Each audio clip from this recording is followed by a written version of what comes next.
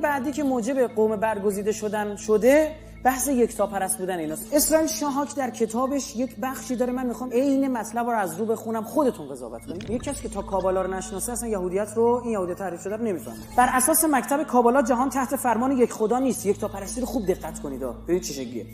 بلکه خدایان متعدد با مشخصات و تأثیرات مختلف از یک تیرگی سرچشمه گرفتن جدای از علت العلل بر آن فرمان میرانند. یه دونه نیست یک شلم شوربایه این نظام اعتقادی را با حذف جزئیات می‌توان اینگونه خلاصه کرد که از ابتدا علت العلل یک خدای مذکر به نام عقل یا پدر و سپس یک خدای مؤنث به نام دانش یا مادر متولد شده است. پسر نیز به اسامی متعددی مثل ریز چهره یا برکت مقدس. پسر خدای پسر شد چی؟ ریز چهره و برکت یا برکت مقدس و دختر هم به, اس... به اسامی مانند بانو یا ماترونیت که کلمه ای که از لاتین استخراج کردن به معنای زن خانه داره یا شخینه یا ملکه و غیر نامی میشه. این دو خدای جوان باید با هم یکی شوند. ولی شیطان که در این نظام اعتقادی شخصیت خیلی مهم و مستقلی است با تدبیر و دسیسه از یکی شدن آنان جلوگیری می‌کند.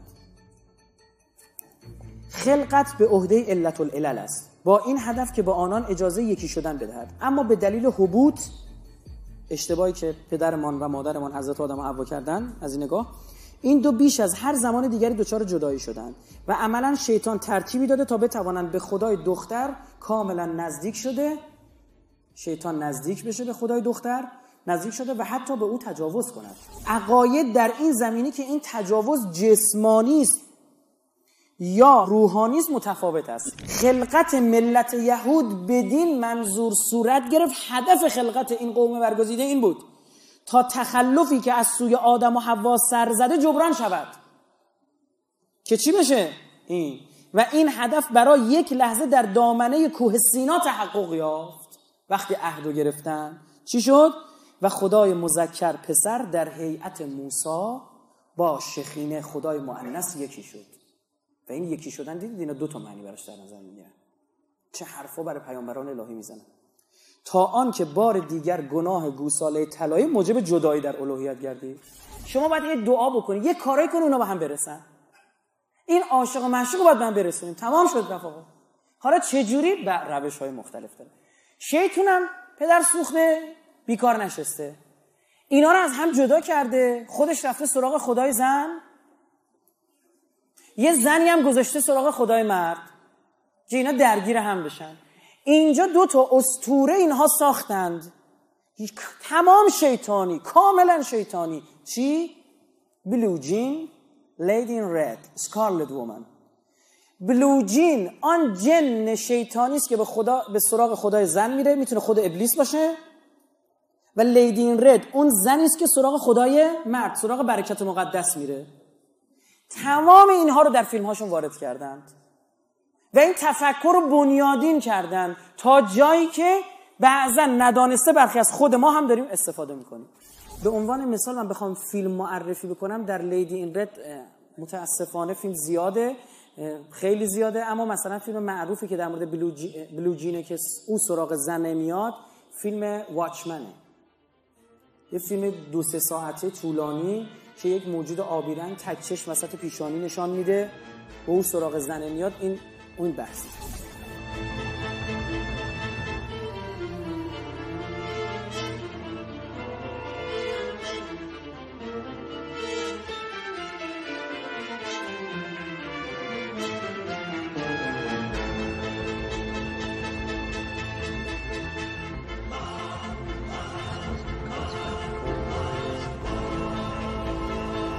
پس رسیدن به سرزمین موعود نشان یکی شدن اون دوتا شخینه و برکت مقدس. خب نماد برکت مقدس چیه؟ نماد خدای مرده. خدای مرد چیه؟ مثلث رو به بالا. نماد شخینه چیه؟ مثلث رو به پایین. در عرض مقدس دو مثلث یکی میشن. حالا فهمید چه رفته بیخ وسط پرچمش؟ اینه. تمام شده. دلیل و تفکر به وجود آوردن این از زمانی که کابالا شکل می‌گیره ریشه دارت میشه این مثلث ها رو میارن استفاده می‌کنن اینا. متاسفانه در الگوی لیدی رد و بلو جین اینها حتی قائل به ارتباط جنسی هم. میگن اون انسانه ارتباط جنسی با جن می‌گیره. اگر مرد باشه با زن سرخپوش اسکارلت وومن با استوره ببلن و اگر زن باشه با جن آبی. و اینو بذارید کنار اون حکم تلمودی که 130 سال این با شیطانی بود و 130 سال چی؟ او هم با شیطانی بود. از نسل اینها انسانهایی هم به دنیا آمدند. اینا میشن غیر یهودیان. یعنی اینا شیطان زادن. تنها انسان زادگان قوم برگزیده است. وظیفه یک یهودی متدین آن است که از طریق عبادات و انجام فرایض مذهبی اتحاد واقعی دو خدا را در شکل یک آمیزش جنسی بین خدای مذکر و خدای مؤنث حفظ کند. یعنی تمام وظیفه دینی این بابا رو این تعریف کردن. وای بر ما. وای بر ما. چرا حالا وای بر اونا؟ نه عزیزم این فرهنگ آورده فرهنگ جهانی کرده.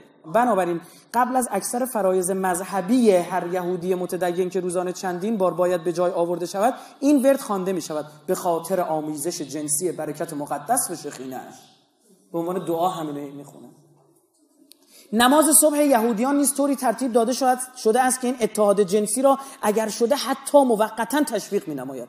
تعقیبات نماز نیز با مراحل همبستر شدن مطابقت دارد. ببخشید می‌خوام.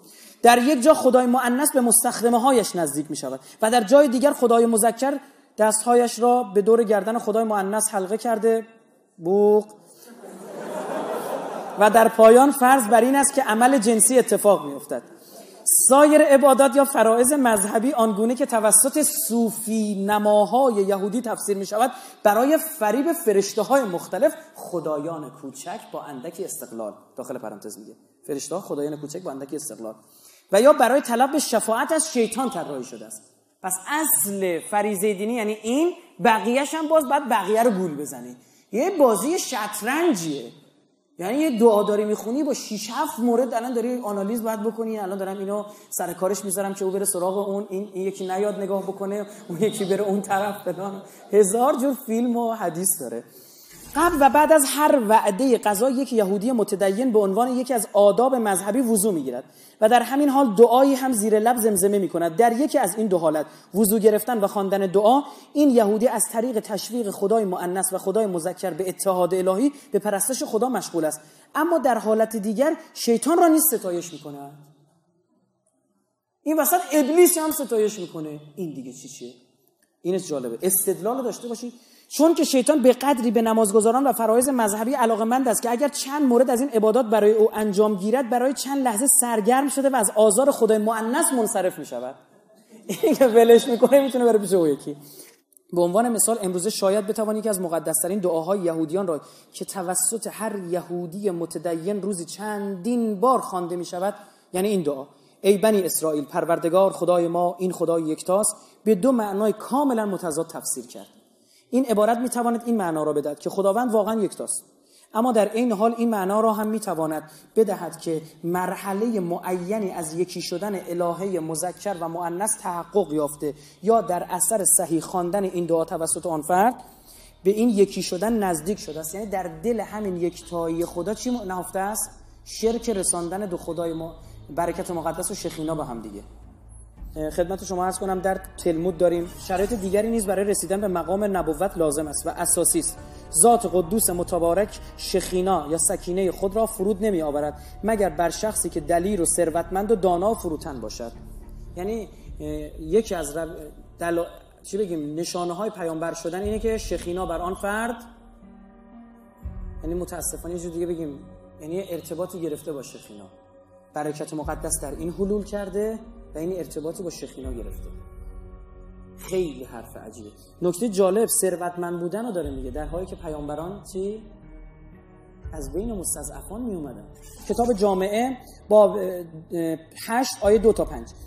استنباط کردن که موسی از خداوند درخواست کرده که شخینا بر ملت اسرائیل قرار گیرد و بر سایر ملل قرار نگیرد. پس تنها ملتی که با شخینا در ارتباطن کیان؟ اسرائیل بقیه میشن غیر یهودیان و زا... توسط شیاطین به دنیا آمدن. زنای شیاطین.